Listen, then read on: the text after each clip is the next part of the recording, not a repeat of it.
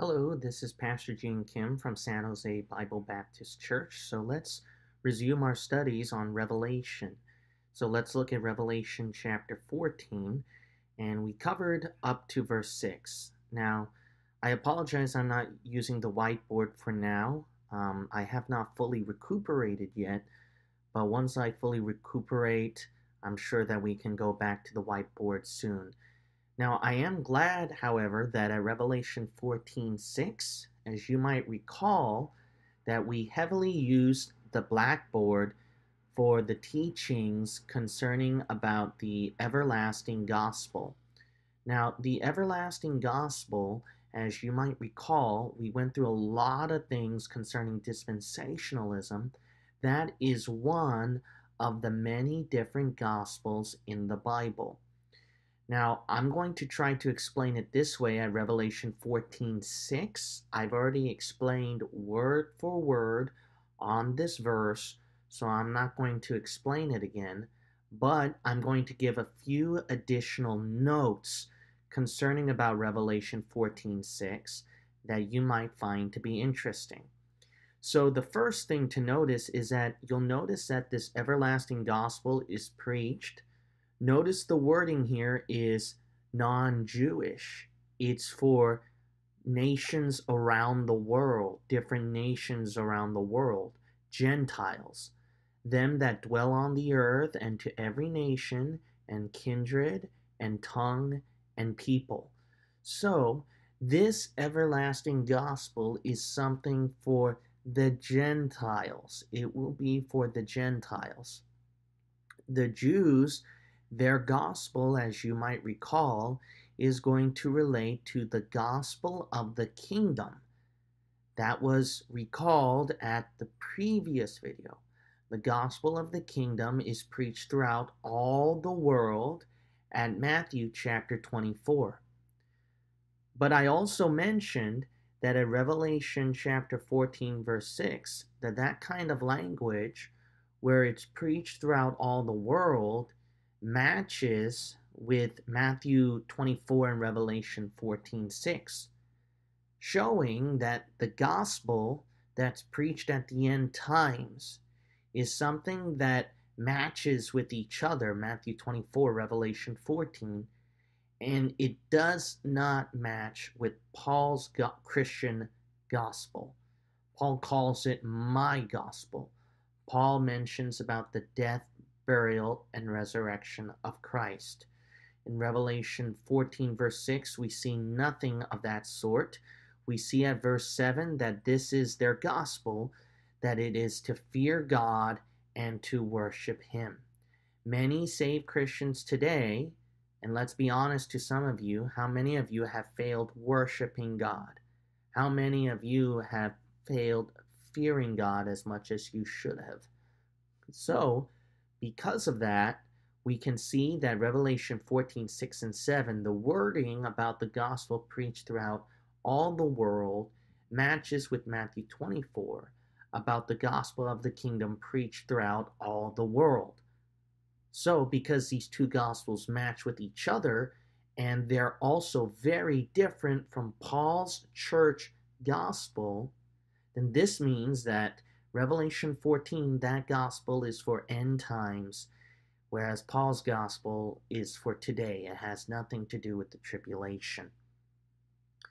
So even though we can see the similarity with Matthew 24 and Revelation 14, there is a distinction nevertheless, because Matthew 24, that gospel is the gospel of the kingdom, and that is preached to Jews when you look at Matthew 4. I've already explained that before at the previous video.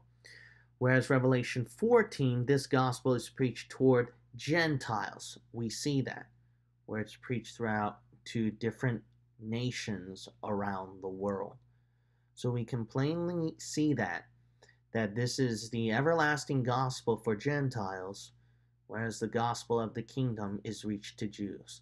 Now, just because it's going to be preached to Jews, the gospel of the kingdom, this gospel of the kingdom will be preached throughout all the world according to Matthew 24. So we see that.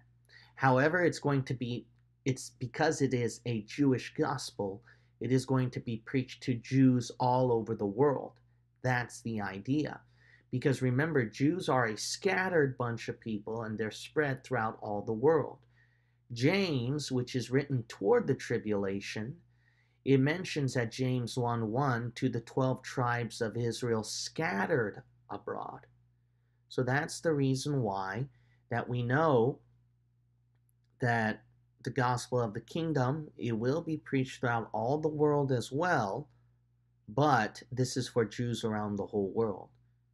And then Revelation 14, this is a Gentile gospel.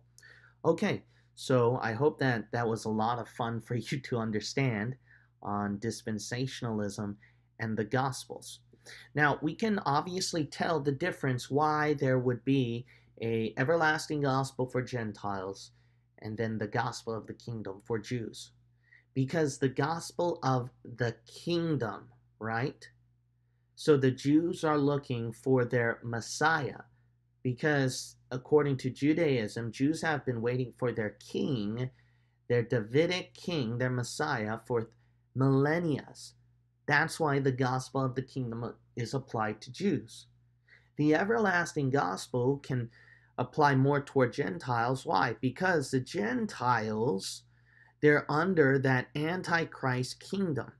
So you'll notice that at verse 10, that there's a damnation of hell. Why? Because of verse 9 of accepting the worship of the Antichrist and his mark. So God at Revelation 14, verse 7, wants them to ignore their Gentile king, the Antichrist, and wants them to worship God, God Almighty being the true king. Now, uh, the Gentiles' king is going to be the Antichrist, and God wants the Gentiles to reject their Gentile king and to go to Jesus Christ instead. Now, obviously, the Antichrist, he is, I know some of you are thinking that he is mingled with Jewish blood, but nevertheless, the whole world, the Gentiles, who do they recognize as their king? The Antichrist. So that's what I mean by Gentiles king. So I hope there's no misunderstanding or confusion over there. But, anyways, uh, returning to the main point at hand, we can see why that the everlasting gospel is distinctly Gentile and then the Jews they have their own gospel, which is the gospel of the kingdom. But I also mentioned that if you notice this chapter, this is Revelation chapter 14. And you'll notice verse 1, I already mentioned to you, we can see the 144,000 Jews already up at heaven. So if they're already up at heaven, the 144,000, and not only that, there's the 144,000, they're supposed to preach and minister throughout all the world, what kind of gospel are they preaching? The 144,000 before this everlasting gospel is preached at verse 6. See? So that means that the gospel of the kingdom is preached throughout all the world before this everlasting gospel is preached throughout all the world at Revelation 14:6. So there are two things which I kind of mentioned before but now I can explain it further.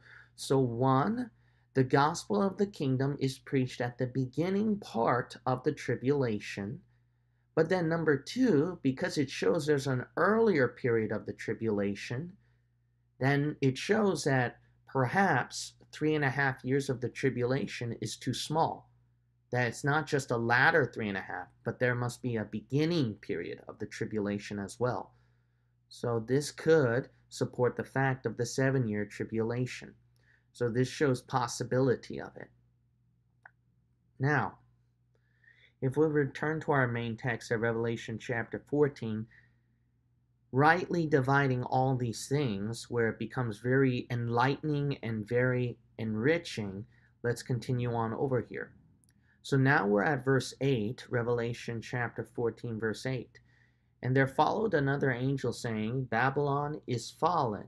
Okay, so another angel following the previous angel. The previous angel was giving the everlasting gospel. The next angel was talking about Babylon is fallen. Now, Babylon, we're going to see later on at Revelation 17. It plays a role in the tribulation, and Babylon is the Roman Catholic Church. It is the Vatican. Babylon is fallen, is fallen. That great city. So the city that rules over all the world and that is religious and that has uh, drunk the blood of martyrs, there's only one city that you can think of that fits the bill, and that's the Vatican. Now, the Vatican, you'll notice it says, because she made all nations drink. So the Vatican made all nations around the world drink of the what? Of the wine of the wrath of her fornication.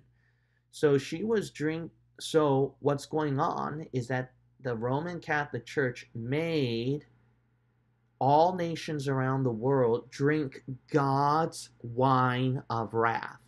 Because you'll notice right here, verse 10 the same shall drink of the wine of the wrath of God. So the Roman Catholic Church is responsible for making all nations around the world partake in God's wrath. See that? And that is symbolized as the wine of wrath, God's wine of wrath. And notice over here that it's likened also to of her fornication. Why? Because she makes a league with all the other nations. She conglomerates with all the other nations.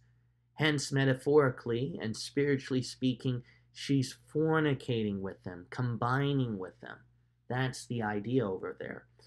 So, God's going to judge all nations who make leagues and dealings with the Roman Catholic Church system, which is why it is so interesting that in the early days of America, the founding fathers, they realized that the Pope and the Roman Catholic Church system, they were vehement against it, and that's why they did their uh, Constitution, Bill of Rights, etc., that they did not want the church to rule over the state because that was the Roman Catholic Church system.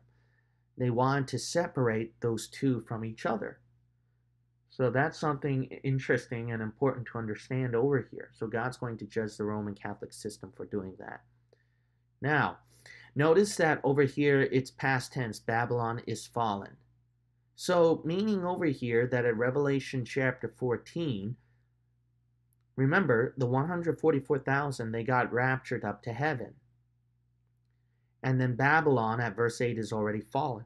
So we can see over here, we're nearing the end of the tribulation over here. That's what's going on. So if the 144,000 already raptured up to heaven, and we can already see here that Babylon is destroyed, we're nearing at the end of the tribulation. We're literally at the end of the end. We're getting over there.